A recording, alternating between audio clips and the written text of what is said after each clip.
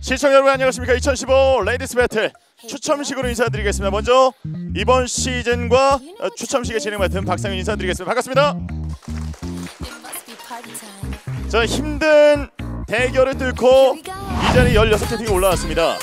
자 그리고 이 선수들에게 든든하게 지원자가 돼줄 8분의 감독 멘토 BJ가 기다리고 있죠.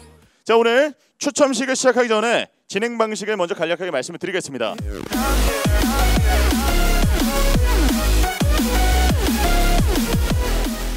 지난 시즌보다도 이 남성 BJ분들의 외모가 많이 출중해졌어요. 그래서 지난번에는 대표적으로 지코, 예, 지코 씨가 오셔가지고 뭔가 좀 훈훈한 분위기 속에서 이게 진행이 됐는데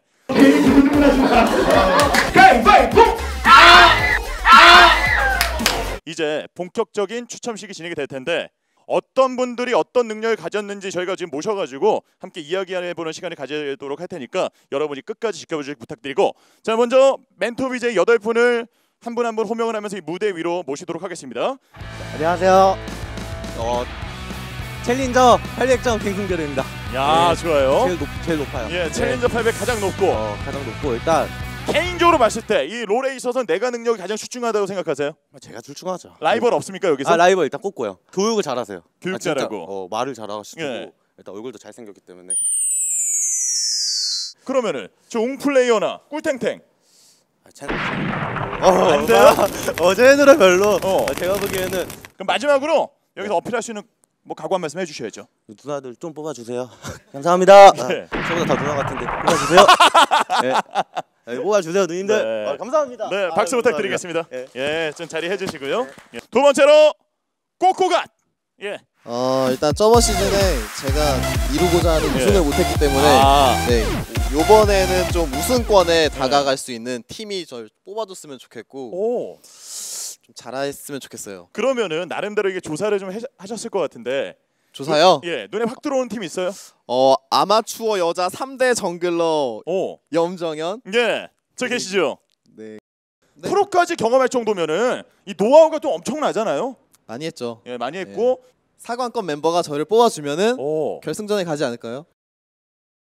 저는 탑을 정말 잘하고요. 예. 그리고 요즘에 들어서 마스터 티어 때를 유지를 하고 있거든요. 예.